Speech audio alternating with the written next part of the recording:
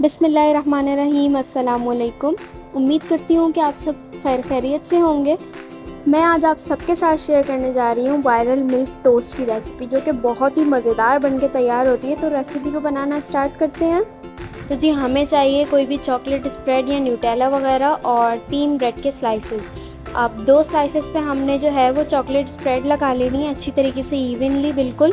और फिर हमने एक स्लाइस लेना है, उसके ऊपर दूसरा वाला स्लाइस रखना है और तीसरा वाला जिस पे हमने चॉकलेट नहीं लगाई है, वो रख देंगे और इसको एक साइड पे कर लेंगे।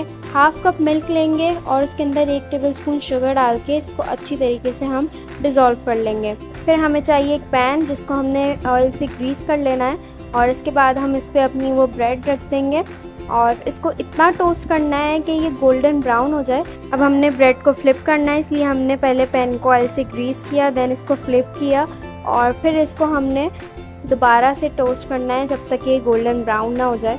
फिर हम इसमें वो मिल्क वाला मिक्सचर ऐड करेंगे और थोड़ा सा हमने बचा लेना है। फिर जब इसके अंदर सारा मिल्क सोक हो जाएगा, हम इसको फ्लिप करेंगे और दूसरी साइड पे भी मिल्क वाला मिक्सचर ऐड कर देंगे जब तक कि सोक ना हो जाए। इसको बहुत ख्याल से फ्लिप करना है और पकाना है क्योंकि ये बहुत चिपकता है।